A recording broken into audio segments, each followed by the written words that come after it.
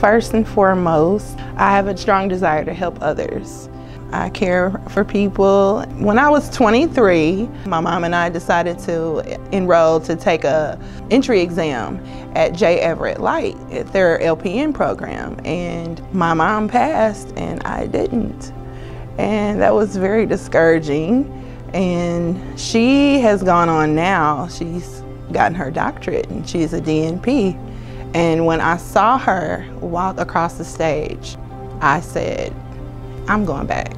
That's when I found Hondros. My mom actually told me about Hondros. I went in and I took the HESI and I was in and, I just decided that this is what I want and no matter what I have to do, I'm gonna do it. I'm gonna finish and I'm, I was thankful for the opportunity and now I'm here. My family was a major support and it was just like they all stepped up.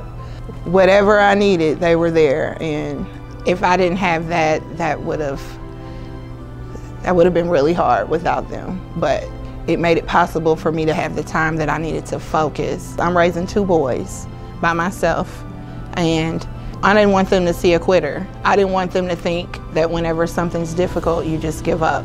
You keep going. And once you're done, you'll be more proud of yourself than anyone else could ever be. My professors um, helped me a lot with the importance of being professional and being empathetic with the patient and listening to the patient and being their advocate first and foremost. I just want to be remembered for making a difference. I just want to be remembered for caring. I just want to be remembered for my hard work and dedication.